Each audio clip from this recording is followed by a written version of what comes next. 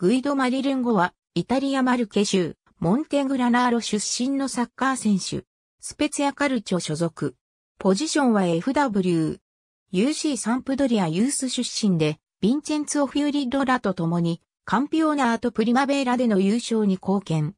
2008から2009シーズンより、トップチームに昇格し、第33節カリアリカルチョ戦では先発出場で2得点を記録するなど、存在感を示した。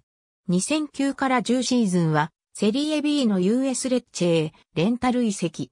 13得点を上げ主力の一角として活躍した。2010から11シーズンは、サンプドリアへ復帰したが目立つ活躍はできず、2011年1月にセリエ B のアタランタ BC へ移籍。シーズン後半戦16試合に出場し、チームの A 復帰に貢献した。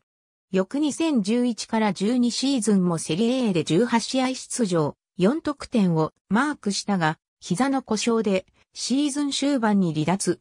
2012から13シーズンも再び故障に見舞われて長期離脱となった。